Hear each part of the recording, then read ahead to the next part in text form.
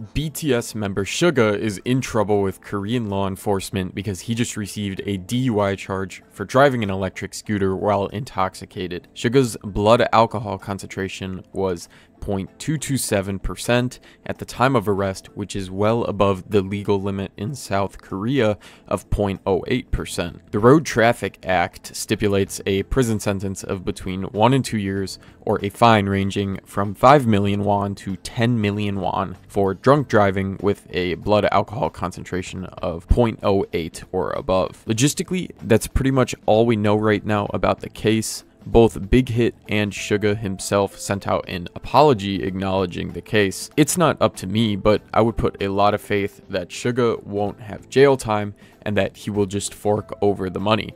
It's no secret that celebrities and rich people can get out of things easily with money, so I would suggest it would be no different in this case. So Suga could be back pretty soon to making music, but that's not to say he won't take a personal break from it though. It seems like it would be a good time for him to reflect on his actions. He did clearly also lie about only having one beer, since one beer is not going to get you even close to a 0.2 BAC, so that's a bit scummy of him potentially trying to cover cover it up more. Except I don't know why he even bothered to say that if they already breathalyzed him at point two, maybe to downplay it to younger fans who don't know anything about alcohol. But now that we have the facts of the situation covered, I want to go over some opinions from people online over the whole situation and then give my own. So here's what one person says. Apologize to Yoongi, a 28 year old man who puts innocent lives at risk because he wanted to drink by the way.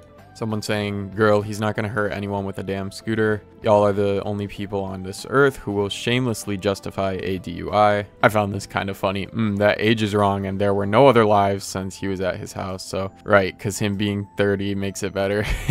this person's not convinced that innocent lives are being put at stake, but like this person says, everyone around you know, he could start taking off, going faster, and crash into someone. So it could all change in a matter of seconds. On the flip side, this person points out that would be wild walking around free like nothing happened, but a drunk person on an e-scooter who didn't harm anyone could get five. Korea's insane, man. So while this does bring up a point in the the criminal justice system, it doesn't excuse the fact that Suga committed a crime. It's just more shifting the goalpost and fighting fire with fire, saying that this crime is less bad than this crime. So this tweet is important, but it's kind of not relevant to what Suga did because Suga did commit a crime. Five years riding a scooter is bonkers. And to be honest, I would agree with that. I don't think that's justified, but okay, this I don't agree with though. He literally didn't harm anyone. He could have. It could have gone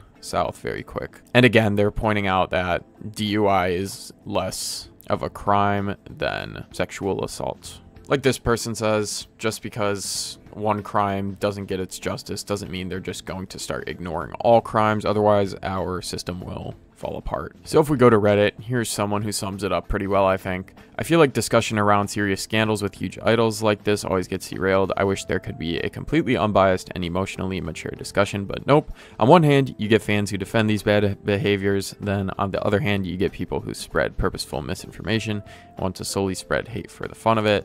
I feel like there's not any nuance to this situation. He did a bad and irresponsible thing that could have ended badly for everyone around.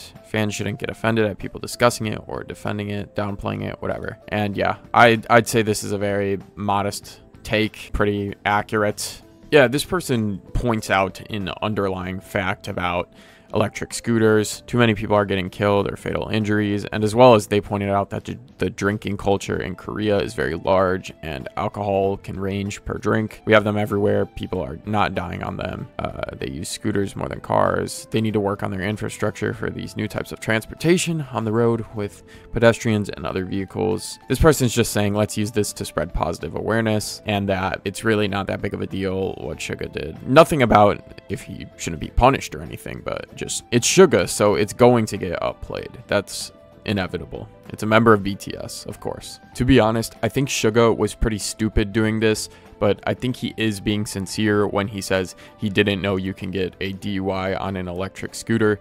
Until recently, I actually didn't know that you could get a DUI on a bike in the US, and I assume it would be that way for an electric scooter here too, or any operable vehicle, but it does make sense in my eyes. If I was drunk, I would probably play it safe and not go near any vehicle I could operate, but everyone experiences being drunk differently, and there are some people I know who aren't completely plastered yet at a 0.2 BAC. Overall, is Suga dumb and should be punished? Yes.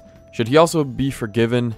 Yeah, I think so. Not everyone knows the law perfectly, and this seemed like a gray area for him on if it was legal. Not to mention, being drunk impairs your rational thinking and decision making, so he probably thought it was okay in the moment, but turned out not to be. Despite that, let me know what you guys think in the comments. Have a good one, and take care.